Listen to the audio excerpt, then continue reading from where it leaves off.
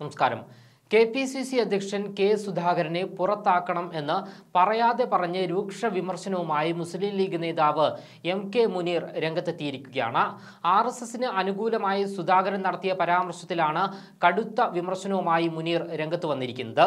രാഹുൽ ഗാന്ധിയുടെ വാക്കുകൾ ഓർമ്മിച്ചുകൊണ്ടാണ് സുധാകരനെതിരെ നടപടി വേണമെന്ന് ലീഗ് നേതാവ് അഭിപ്രായപ്പെട്ടത്. കെ പി സി സി അധ്യക്ഷനെതിരെ രൂക്ഷ വിമർശനമാണ് ലീഗ് നേതാവ് നടത്തിയത്. കെ സുധാകരന് എന്താണ് സംഭവിച്ചത് എന്ന് മനസ്സിലാകുന്നില്ല എന്ന് മുനീർ പറഞ്ഞു. സുധാകരന്റെ ന്യായീകരണം ഉൾക്കൊള്ളാൻ മുസ്ലിം ലീഗിന് ആയിട്ടില്ല. ഇക്കാര്യം കോൺഗ്രസ് ചർച്ച ചെയ്യണം. ആർ എസ് എസ് ചിന്തയുള്ളവർ പാർട്ടി വിട്ടുപോകണം എന്നാണ് രാഹുൽ ഗാന്ധി പറഞ്ഞിട്ടുള്ളത് എന്ന് മുനീർ തുറന്നടിച്ചു. സുധാകരന്റെ പരാമർശം വളരെ നേരിട്ട് ആയിപ്പോയി. ആർ എസ് എസിനെ ന്യായീകരിക്കുന്ന ഒരു സൂചന പോലും സുധാകരൻ നൽകരുതായിരുന്നു.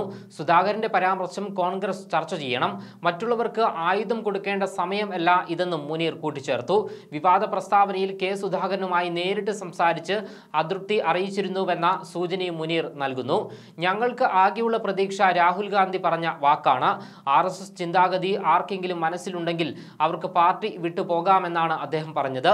ഇക്കാര്യം കോൺഗ്രസ് ആണ് പരിശോധിക്കേണ്ടത് എന്നും നടപടി വേണോ എന്ന് തീരുമാനിക്കേണ്ടതും പൊതുവിഷയങ്ങളിൽ കോൺഗ്രസ് നേതാക്കൾ വ്യത്യസ്ത അഭിപ്രായങ്ങൾ പറയരുത്.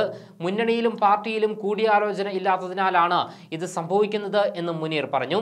അതേസമയം ഈ വിഷയത്തിൽ പി കെ കുഞ്ഞാലിക്കുട്ടി മയത്തിലുള്ള സമീപനം മറികടന്നാണ് മുനീറിന്റെ വാക്കുകൾ എന്നതും ശ്രദ്ധേയമാണ്. K P C C president K സുധാകരന്റെ ആർ എസ് എസ് സംരക്ഷണ പ്രസ്താവനയിൽ വിശദീകരണം നൽകേണ്ടത് കോൺഗ്രസ് ആണ് എന്നും ലീഗ് ഇക്കാര്യം വിശദമായി ചർച്ച ചെയ്യും എന്നുമായിരുന്നു കുഞ്ഞാലിക്കുട്ടിയുടെ പ്രതികരണം.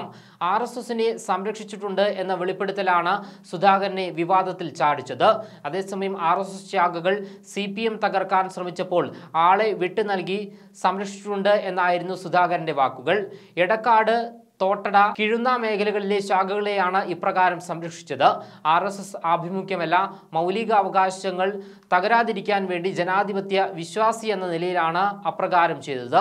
എന്നാൽ ആർ എസ് എസ് രാഷ്ട്രീയവുമായി ഒരു കാലത്തും ബന്ധപ്പെട്ടിട്ടില്ല എന്നും സുധാകരൻ പറഞ്ഞു.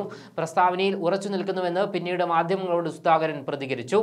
ഏത് പാർട്ടിയാണെങ്കിലും പ്രവർത്തിക്കാൻ അവസരം നഷ്ടമായാൽ ഇടപെടുമെന്നും വേണ്ടി വന്നാൽ സി പി എമ്മിനും സംരക്ഷണം നൽകുമെന്നും സുധാകരൻ പറഞ്ഞു. ബി ജെ പിയിൽ പോകണമോ വേണ്ടയോ എന്നൊക്കെ തീരുമാനിക്കേണ്ടത് താനാണ് എന്നും സുധാകരൻ പറഞ്ഞു. സംഭവം വിവാദമായതിനു ശേഷം കൂടുതൽ പ്രതികരണങ്ങൾ നടത്താൻ സുധാകരൻ തയ്യാറായിരുന്നില്ല. ആർ കാര്യാലയത്തിന് മാത്രമല്ല എസ് എഫ് ഐ നേതാവിനും സംരക്ഷണം നൽകിയെന്ന് സുധാകരൻ പിന്നീട് പറയുകയുണ്ടായി. ബ്രണ്ണൻ കോളേജിൽ വെട്ടേറ്റ് കിടന്ന എസ് എഫ് ഐ നേതാവ് അഷ്റഫിനെ ചുമലിലേറ്റി ആശുപത്രിയിലാക്കി. എം വി രാഘവന് നേരെ സി ഭീഷണി ഉയർന്നപ്പോഴും ആളെ വിട്ട് സംരക്ഷിച്ചുവെന്നും കെ സുധാകരൻ പറഞ്ഞു.